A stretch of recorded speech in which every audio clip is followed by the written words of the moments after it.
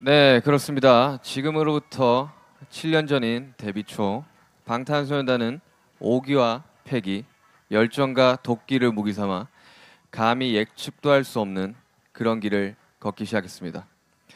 정말 누구보다 더 성공하고 싶었습니다.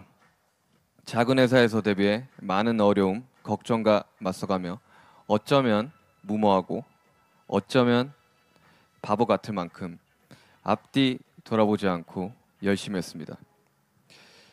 무엇을 어떻게 해야 할지도 몰랐지만 먼 훗날 다 추억이 될 것이고 지금 힘든 것들은 다 지나갈 것이다. 그렇게 절실하게 주문을 외웠던 것 같습니다.